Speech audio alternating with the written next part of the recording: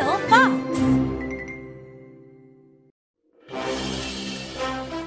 火箭女孩的西游大冒险十，迷路。这里是哪儿？罗西站在一条路中间嘀咕着。我是怎么来的？他看了看四周。孙悟空呢？刚才他还在我面前。罗西观察了周围的环境，他确认自己还在山上。但是山下一片黑暗，也看不到美罗城。这时，另一条路的尽头走来两个妖怪。大王抢回了他的山，现在可以放心了。高妖怪说：“矮妖怪点了点头，真期待今天的宴会，终于能吃唐僧了，然后我们就能长生不老。”两个妖怪同时说，然后他们哈哈大笑。高妖怪的肚子咕噜噜叫起来，真想马上吃。矮妖怪举起手，让他安静。嘘，有人。两个妖怪躲在一块巨石后面，看到一个女孩走在路上。她穿的衣服好奇怪，矮妖怪说：“不像是这里的人。”我们吃了他吧。高妖怪贪婪地说：“等等！”矮妖怪小声说：“有人来了。”罗西也听到有人靠近的声音。突然，几个长相丑陋的男人走了过来。嗨，你们好！罗西向他们打招呼。能告诉我这里是哪儿吗？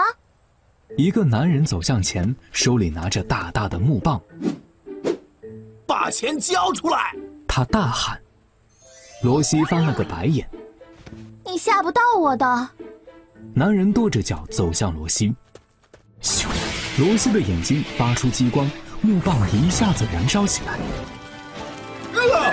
男人扔掉了木棒，罗西笑了起来。其他人看起来很害怕。他是妖怪，快跑！看到了吗？矮妖怪小声对高妖怪说。高妖怪点了点头。他的法术很厉害，你说他是不是薰衣说的那个女神仙？肯定是他。矮妖怪回答：“罗西沿着路往前走，这下麻烦了。”他心想：“天这么黑，我都不知道我在哪儿，要怎么回家？”就在这时，两位老人走了过来。“孩子，你迷路了吗？”老爷爷问。罗西看了他们一会儿，觉得他们看起来很友好，可以相信。于是他说了真话。是的，我迷路了。你看起来很累。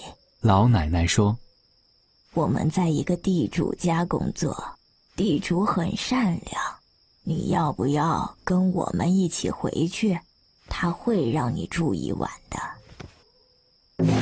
罗西跟着两位老人来到山上的一座漂亮的大房子。老爷爷给他拿来热腾腾的食物。老奶奶带他去了舒适的房间，罗西很快就睡着了。第二天早上，罗西和地主一起喝茶。你是这里的人吗？地主问。罗西摇了摇头。地主靠近罗西：“你来自另一个世界吗？”罗西耸了耸肩。